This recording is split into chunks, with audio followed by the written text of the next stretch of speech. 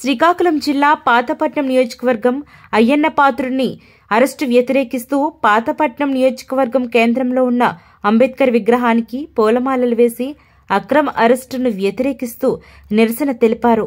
Pathapatnam Telugu Desam party incharge Kalamata Venkataramanamurthy మాట్లాడుతూ అమరావతి రైతుల పాదయాత్రను భగ్నం చేయడానికి ఈరోజు అయ్యన్నను అక్రమ అరెస్టు చేశారని ఆయన అన్నారు అయ్యన్న అక్రమ అరెస్టుని తీవ్రంగా ఖండిస్తున్నామని ఈ సందర్భంగా తెలియజేశారు ఈ కార్యక్రమంలో రాష్ట్ర బీసీసీఎల్ ఉపాధ్యక్షులు లక్ష్మయ్య మండల అధ్యక్షులు బాబ్జీ ప్రధాన కార్యదర్శి రామారావు అప్పారావు సతీష్ సన్యాసి తెలుగుదేశం పార్టీ నాయకులు కార్యకర్తలు అభిమానులు పాల్గొన్నారు రాజ్యం ఇదే విరాజ్యం అయ్యన్న పాత్రుని అక్రమ అరెస్టు అయ్యన్న పాత్రుని అక్రమ CM down down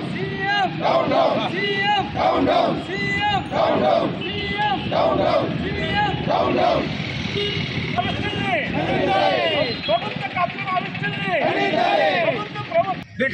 మూల కారణం ఏంటంటే రేపటి నుంచి అమరావతి రైతులు నర్సీపట్నం నియోజకవర్గంలో ఉత్తరాంధ్రలో అడుగు పెడతారు ఆ ఉత్తరాంధ్రలో అడుగు పెడుతున్నారని తెలిసి వారిని అడ్డుకోవడానికని మరి ఈవేళ అయ్యన పోతుని అరెస్ట్ చేయడం జరిగిందని మేము భావిస్తున్నాం.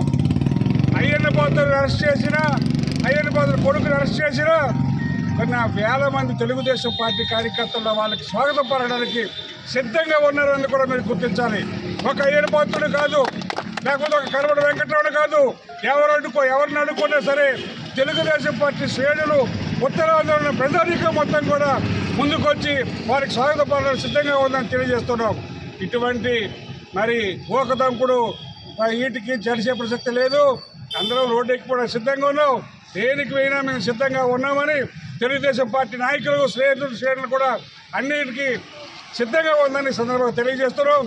ఏదైతే అక్రమ అరెస్టు చేసిన అయ్యన పాత్రుడు కానీ ఆయన కొడుకుని కానీ బేషరతుగా రిలీజ్ చేయాలని మేము డిమాండ్ చేస్తున్నాం.